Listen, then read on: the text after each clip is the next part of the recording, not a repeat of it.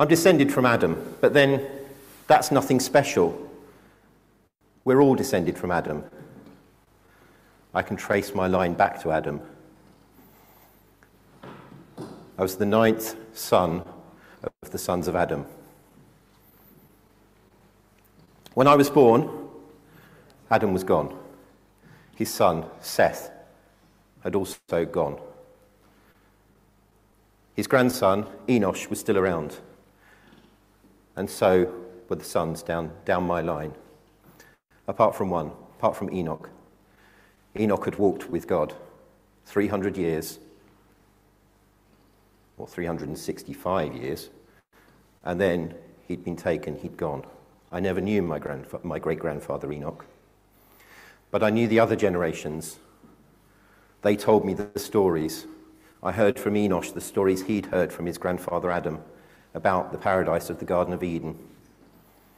But our family lived in peace. Nothing special, sons of Adam, but we were just a normal family. My grandfather, Methuselah, taught me how to listen to God. He'd had it from his father, Enoch. Enoch was tuned into God, Enoch walked with God.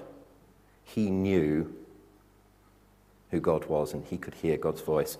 Methuselah, my grandfather, Lamech, my father, they taught me how to listen to God, how to tune my ear, to know God's thoughts. But I never expected God to speak to me. Not in a voice that I would, I would hear and know that's God speaking. I knew to listen, and I listened. But it was still a shock when God spoke to me. He said, Noah, you are righteous. You're the only righteous in your generation. and I'm going to end at this generation. I'm going to wash everything away. Washing everything away just doesn't, doesn't it's, it's hard to explain. We had regular floods. We lived near the, the, near the Euphrates River. It flooded regularly. We needed it to flood. That's how, you, that's how you did the fields. The fields flooded. That helped the crops to grow. We had floods most seasons. But this wasn't the sort of flood God was talking about. And also, speaking to me. Nothing special, just a man, Noah. I didn't expect to accomplish anything great in my life. None of my predecessors had. We'd lived in peace. But God had a task for me. Build a boat, he said. Build a big boat. 135 metres long, 23 metres wide, 14 metres high. That's a big boat. This hall is about 15 metres front to back. So this hall times nine. This hall is about eight metres across. This hall times 3. This hall is about 7 metres high. This hall on top of itself. That's how big the boat was. It was a big boat.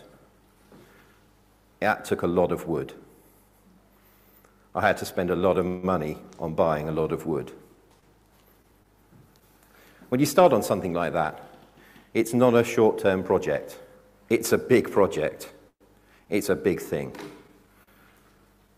It attracted attention, not just because I was buying all the wood that I could, but because I was building a big boat on land near the river. People started asking questions. I'm a truthful man. I told them the truth. God spoke to me. He told me that He's going to send a flood. It's going to wipe out everything everything on the land will die. And he's told me to build this boat. He's told me that there's no righteous in this generation, that the only people that will be saved will be me and my family. We need to change our ways, guys. We need to change our ways. We need to, we need to be different. People just laughed. Vanity project, they said. Noah the builder, they called me. And worse, Noah the idiot. Noah the fool. Nobody could believe that a flood of that size could ever come. It's hard to be called those names. It's hard to live with that. My sons helping me build heard that. My father heard that. My grandfather heard that.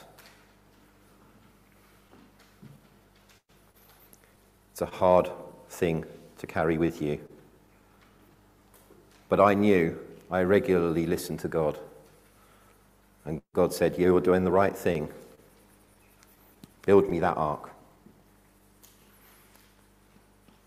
Keep going. Don't stop. I knew I was doing the right thing. Doesn't matter what men say about me. Only matters what God said about me. And God said I was doing the right thing. He called me righteous in my generation. He promised that He would save me, my family, my sons, their wives, and the animals. I did as God said. My father Lamech died five years before the flood came. My grandfather Methuselah died the year of the flood. Then I got the warning from God the animals are coming. Load the ark. Get on the ark. The rain is about to fall.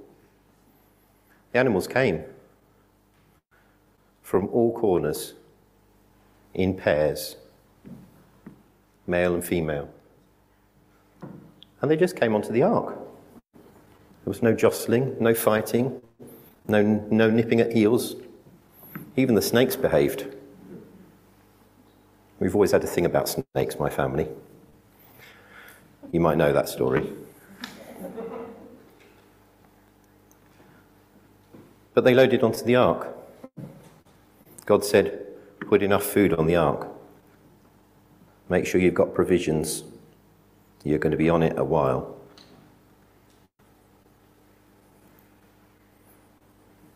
We built it as best we could. We painted it with pitch inside and out. That's black and smelly. Kind of helps with the smell of the animals. You're cooped up with animals in a confined space. It gets a bit smelly. But the pitch kind of helped for a bit till that wore off. And then the rains fell. And the rains came down and the floods came up, as they say. 40 days, 40 nights of rain, continuous. You think you've had it bad in June. 40 days, 40 nights, never stopped. And the ark floated free.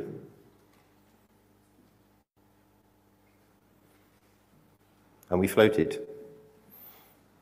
And the door was sealed. There was nowhere to go. Exercising was interesting. Have you ever tried exercising an elephant? It's not easy. Then the rain stopped. 40 days, 40 nights, and the rain stopped. And we floated, cooped up in the ark, doors and windows sealed.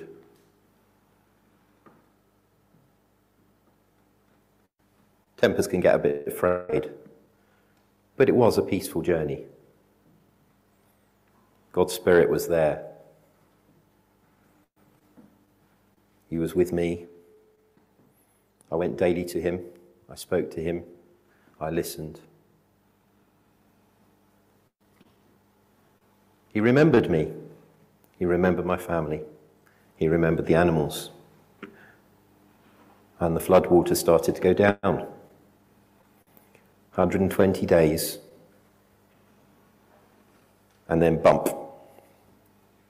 We bumped into dry land kind of fairly wet land. But it was the top of a mountain. Wasn't anywhere to get off, really. So I released a raven. Ravens aren't very useful birds. He flew off and never came back. Wings of the storm, they call the raven. He flew away. He circled. I waited. I released a dove. The dove circled and returned.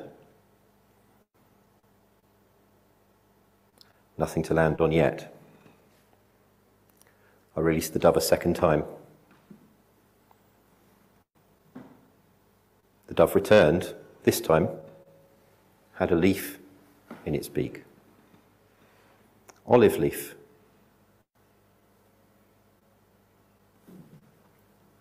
There were plants again.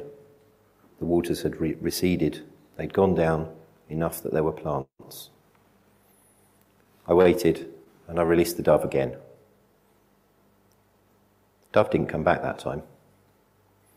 Still, God did not say, Open the ark. So I didn't. We waited. It wasn't until day 375, we were on the ark for a year and 10 days, before God opened the ark. Then he made a new promise, the same promise he'd made to Father Adam be fruitful, multiply in number. He'd saved me, he'd saved my family, he'd saved the animals. That's the business of God. God doesn't change. He's in the saving business. He's been at it since the beginning of time. God saved me. He saved my family. And He made a promise. He wouldn't flood the earth again, not in that way, not to destroy it. That promise still stands. And that saving still stands. God is the same today as he was then. He saved me. He's in the saving business.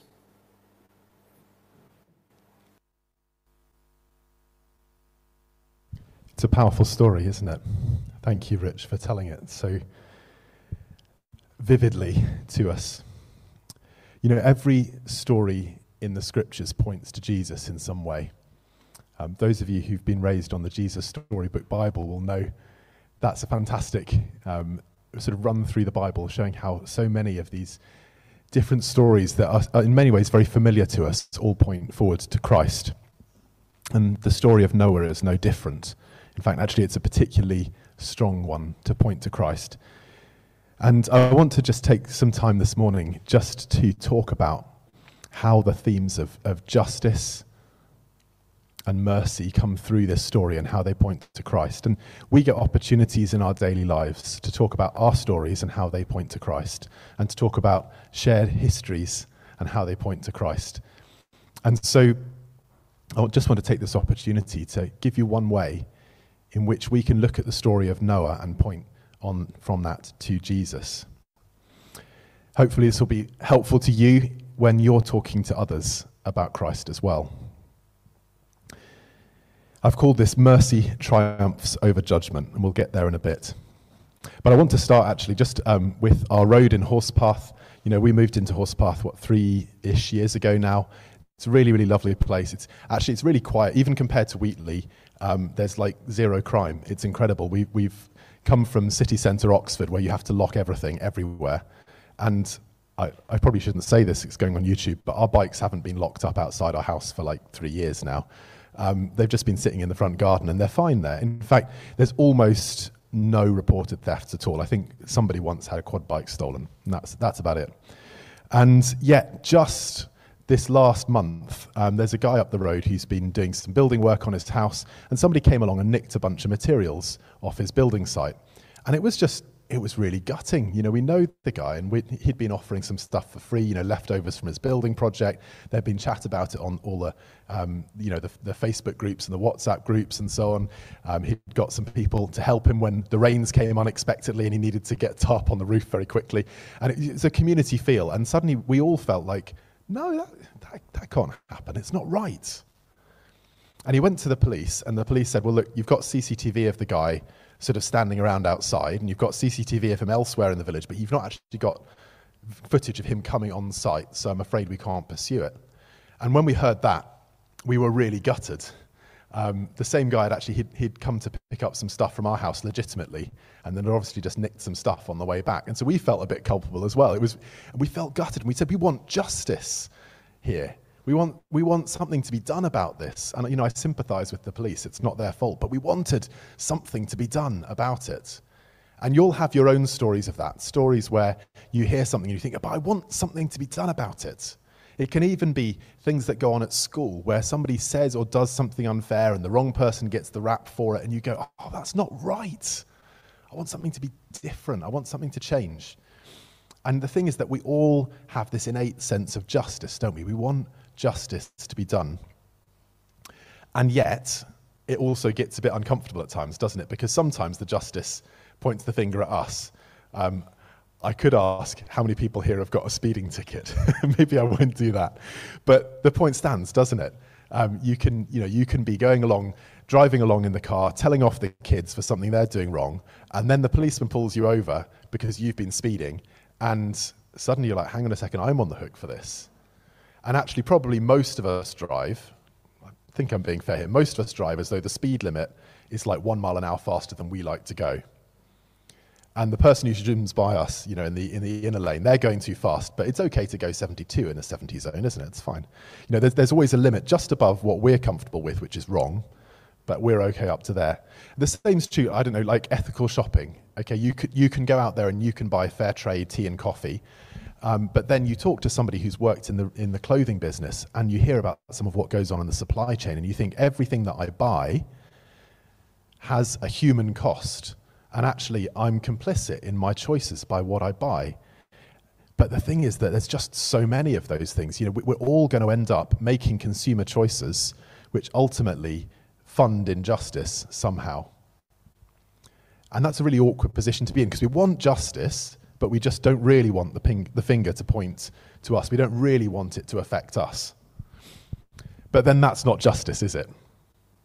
If, if we really want the world to be fair, except where it points the finger at us, except where we're the one on the hook, that's not actually fair, that's unjust. Now, there are countries in the world where everybody is watched the whole time. You'll have heard some of them. There are countries where there are no democratic rights. I mean, on the, the World Democratic Index, the worst ones are Chad and Syria and North Korea. And you may have heard some stories coming out of those places. Um, the most surveilled place in Europe is actually Croydon, if you'd believe it. Um, more CCTV cameras per square meter than anywhere else in Europe. But there are places where people are watched the whole time and have no freedom, and that the, the hammer of justice comes down very hard as soon as you step out of line. And those places are incredibly oppressive. Those places are horrible places to live. Can you imagine every single move of yours being watched in case you stepped out of line and did something wrong? It doesn't bear thinking about, does it? So we need an answer. We need an answer to our desire for justice and yet our desire not to be on the hook the whole time for every little thing we do. And we don't have an answer for that. And Noah didn't have an answer for that and nor did Lamech, nor did Methuselah, nor did Enosh, all the way back up that line that Rich was telling us about. There is no human answer to the desire for justice, and yet the desire for us not all to end up on the hook for everything. But God has an answer, doesn't He? God always has an answer. Noah didn't get everything right. It wasn't Noah who fixed things. In fact, one of the first things we read about Noah after he gets off the ark is he goes and gets drunk and ends up shaming himself in front of his kids. It's not a great story. He's not this incredible hero um, that perhaps we might make him out to be. He's got his flaws, like the rest of us. But he did try to please God, and he listened to God, and he talked with God, and he trusted God. And that trust was what mattered, wasn't it? Because when God said, I'm going to rescue you from a flood, but you've got to build a boat. And how many years did he have to go on building for with no sign of cataclysmic rain? And how long would it take to build a boat that size, even with modern tools? It'd be incredible. It'd be years in the making. He had to do it all by hand with just a team of probably five or six of them or something. He's got to trust God all that time. He did. He had trust in God. And so when judgment came, when justice came, God gave him a way to escape. That isn't unfair, that's something different, and it's called mercy. You see, God is incredibly just, God is perfectly just, but God is also merciful. And Jesus came to offer that to all of us. He didn't come with a way to ignore the wrong stuff in our lives. He came to give us mercy.